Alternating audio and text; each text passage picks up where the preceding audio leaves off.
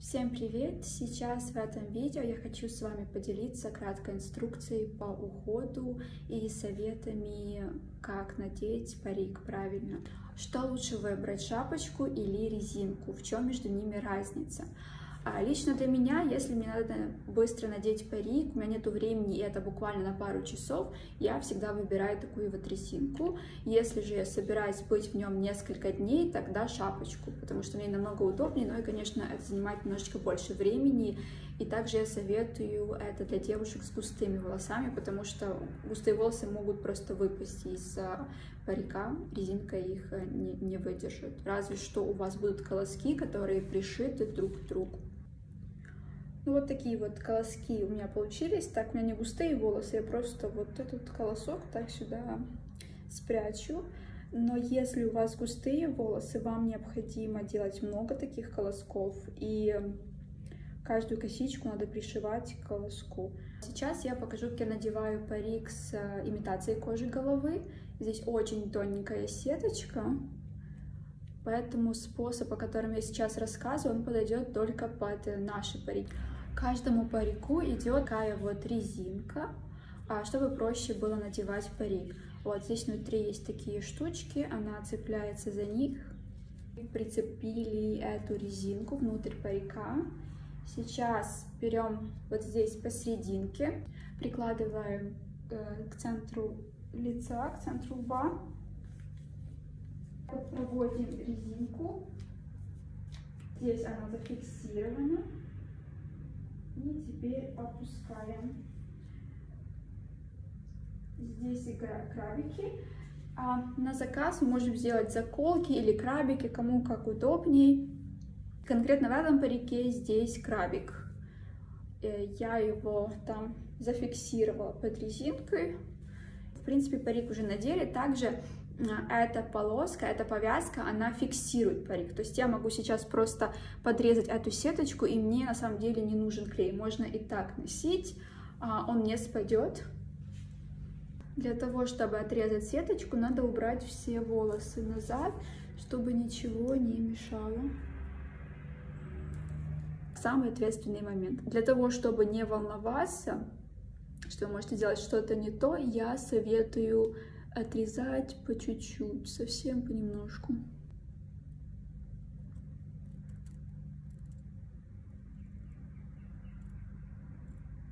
Не обязательно делать все ровно, можно даже так сделать неровно.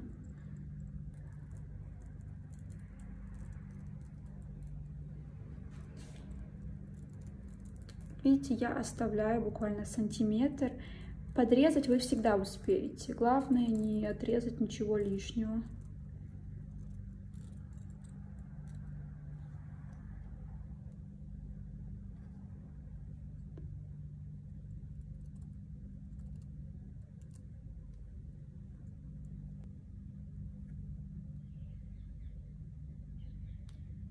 И я буду фиксировать теперь лаком для волос.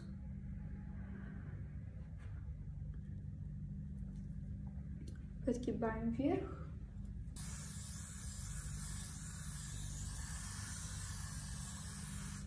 Буквально пару секунд подождем. Надеваем обратно. Я забыла сказать, перед тем, как наносить лак, кожа должна быть чистой, чтобы не было никакого крема, или там тонального средства, кожа должна быть чистая.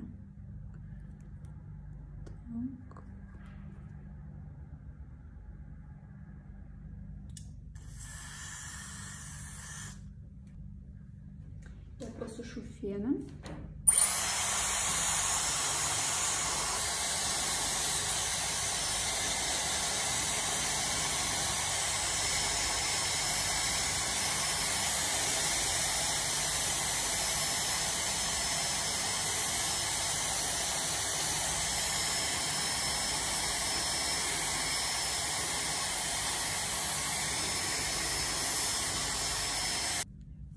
Здесь немножечко потек лак, это все в порядке, его можно водой обычной смыть.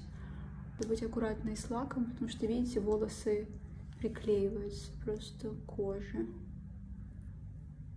Вот, сделаю себе вот так.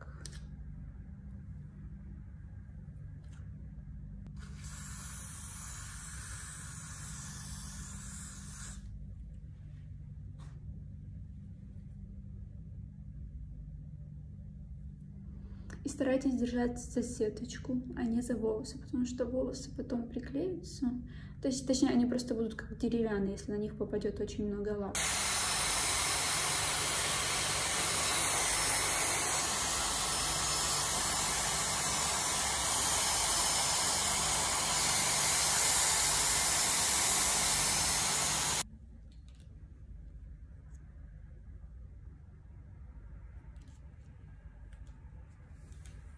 Я только что показала весь процесс установки. Как видите, это не занимает много времени.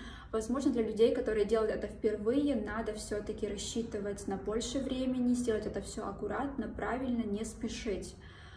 А потом со временем вы сможете делать все очень быстро, а возможно, вы даже не захотите потом фиксировать, он и так тоже хорошо держится. Есть а, резиновая повязка, есть дополнительная повязка к этому парику.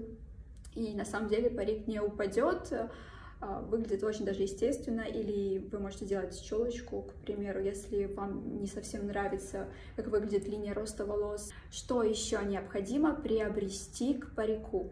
Первое и самое главное — это лак, которым вы будете фиксировать парик. Второе, что необходимо к парику, это шапочки или такая вот резиновая повязка. Это все есть на Алиэкспресс, оно не стоит много. Единственное, что доставка занимает какое-то время.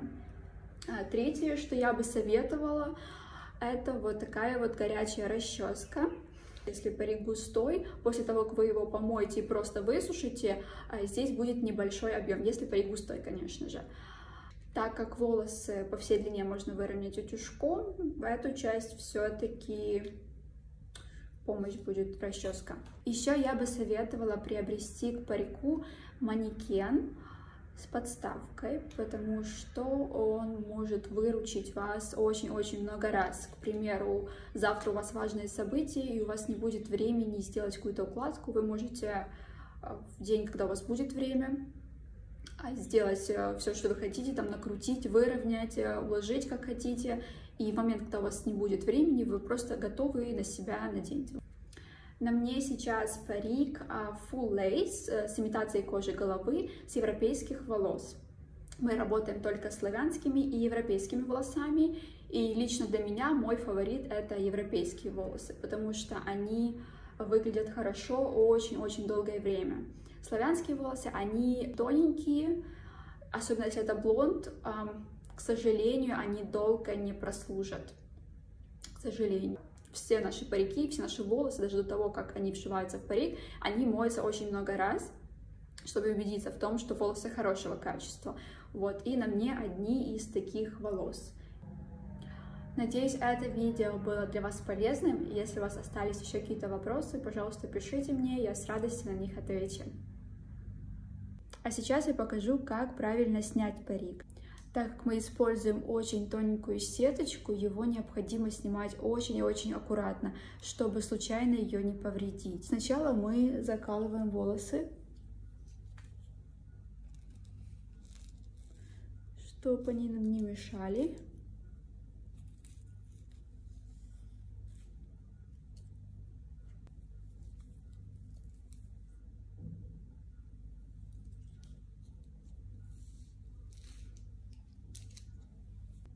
Потом мы берем такой вот ватный мокрый спонжик а, с теплой водой и начинаем промакивать. Опс. А именно в той части, где у вас была.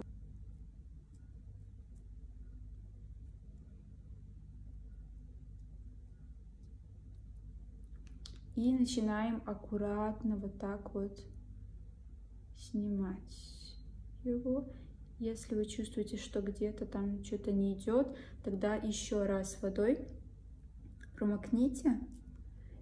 Ни в коем случае нельзя тянуть, так как это очень тоненькая сеточка, тем более, когда она мокрая, она может э, растянуться, во-первых, а во-вторых, порваться. Вот, видите, все, парик уже отошел. Все легко и просто. Главное делать аккуратно, найти на это время.